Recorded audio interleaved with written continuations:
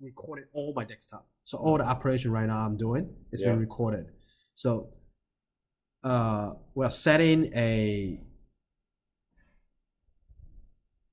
rules. Oh, comes up Yeah. like this. So we're setting a rules, event rules for the camera. When there's a LPR event Yeah. happen, blacklist, others, whitelist, we don't care. You can just select that and show text overlay on the camera. Or you can add another one. For example, it's the same. And now take events on the camera LPR. So now you can set up the LPR, right? And do notifications or bookmark. So every single time you have that license plate, then you can insert a bookmark. Then you can search the bookmark. Okay. Let's try to do uh, notification better.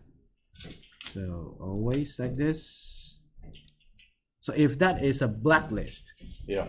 so I have to know that or do some bookmark acknowledgement.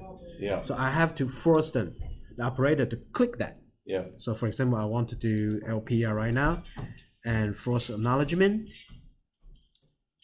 Okay, so when there is a LPR detect, I will show the notification here and you have to click that and say, hey, I know that, like this. Yeah.